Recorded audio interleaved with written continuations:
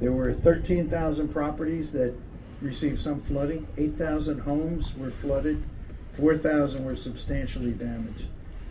The thing that I think back and impresses me the most is the way this community came together. There was a real sense of community, neighbor helping neighbor.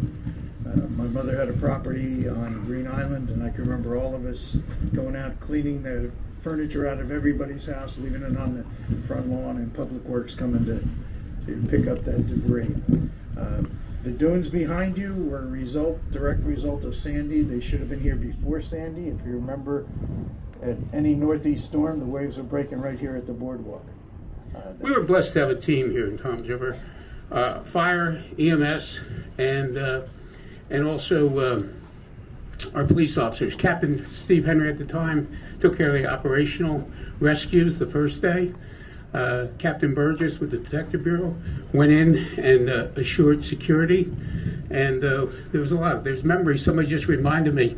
I came over here. We had a new program, Spillman, that the uh, township gave us, a computer-aided dispatch, and it let us know uh, the property, what property was there. And right at the corner here on Third, a lady left me a phone message. I called her. She thought she was coming down for Thanksgiving dinner. Uh, and she wanted to know, was her house going to be ready? And when I pulled up, the house was totally gone. I could look at my tax map on my computer in the car. And I said, I'm sorry, I hate to do this over the telephone, but your house is not no longer here.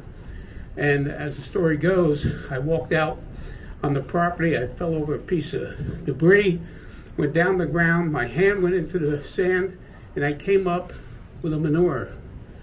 I said, "In Ortley Beach, come on." And uh, so I got back to the car, and I said, "The only thing left here is a menorah." She goes, "Yeah, that was my grandmother's."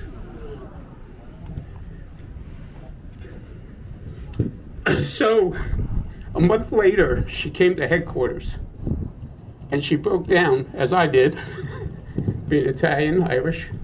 And we broke down and we needed a wet vac because that was the only thing left of that house that stood there.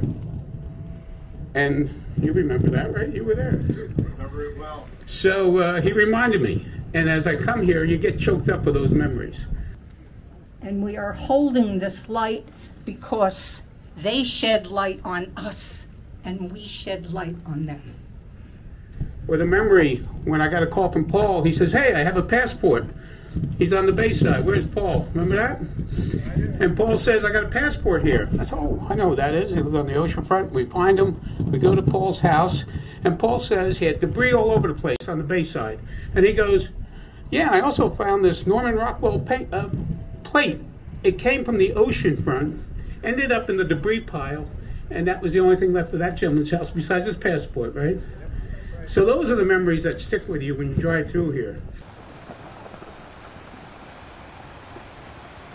Thinking over the last week of how many people came together when we were all simply desperate. Uh, Maria Maruca, you were you were one of those leading people. Uh, you and Sheriff Mastronardy, the police chief at the time, uh, they were out here day one. Um, actually, day zero, I guess, pretty much getting out here to help people recover. I don't know how many people know know what this is. Yep. So um, this is from the Bucket Brigade. Cassandra, who's no longer with us, she came around. She had these buckets full of bleach, cleaning supplies, and whatever you needed. It was absolutely remarkable, the volunteer effort. I kept this. My grandkids take it to the beach every time because I like to be reminded about how we help each other and how people like Cassandra, uh, in the end, uh, gave her life for, for all of us. She could help us, but sadly we couldn't help her as much as she as she needed it. Um,